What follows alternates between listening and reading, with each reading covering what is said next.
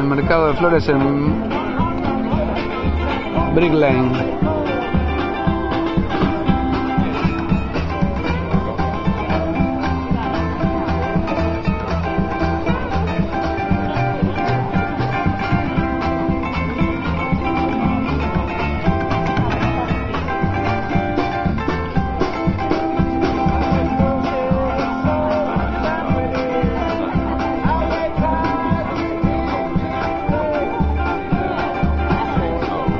Londres tiene rincones bellísimos. No hay que perderse Bright Lane.